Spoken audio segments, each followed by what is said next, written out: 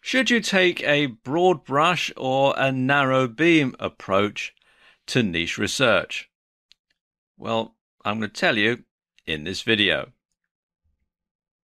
Let me explain what I mean by a broad brush approach.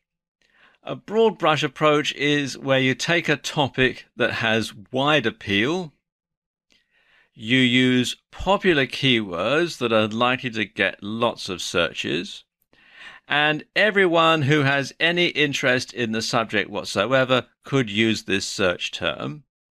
And this results in high search volume, but it also results in high competition.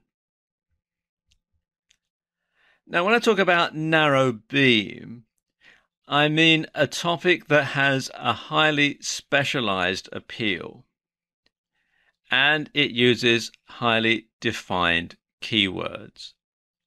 So only those people who have a specific interest in the subject will use those search terms. There's lower search volume, but there's less competition, so you stand a greater chance of making a sale. And you might call a narrow beam approach going after a sub niche of a wider niche. To convert a broad brush topic down to a narrow beam one, you want to niche it down three times. So, for example, let's say weight training. You could niche that down to weight training for women and then beginner weight training for women because obviously that's a much more specialized subject. Uh, so therefore, only women who are beginning weight training are going to be interested in this particular niche. And that can be to your advantage.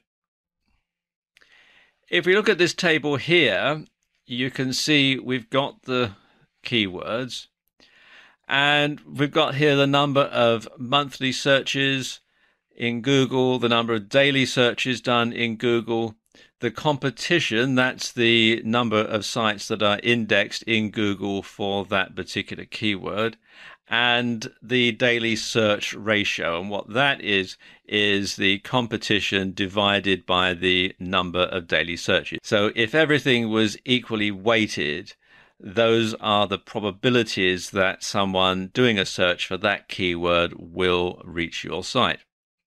Now let's just take a look at these. For weight training, you can see that there are 9,720 monthly searches, 324 daily searches, but the competition is 12,900,000 websites for that keyword. So your chances of getting to the first page of Google let alone to the top position in Google, are going to be very, very slim. So the chances of somebody actually coming to your website, the daily search ratio is 39,814 to 1. So when you niche it down, you've got weight training for women, and that gives 6,480 monthly searches, 216 daily searches, and the competition is 327,000. But when you niche it down again, you've got beginner weight training for women. The monthly searches are much lower, only 384, and there's only 13 searches a day.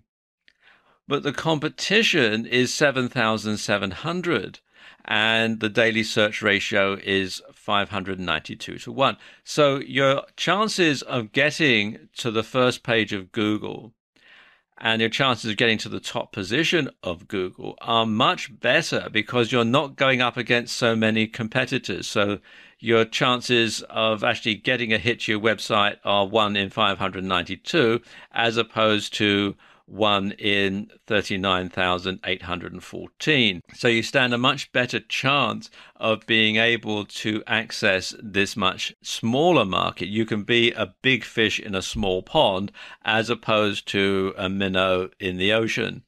So if you're just starting out, if you're looking for a niche to dominate, the smaller the niche, the better. So niche it down, take a narrow beam approach, and you'll stand a much better chance of success.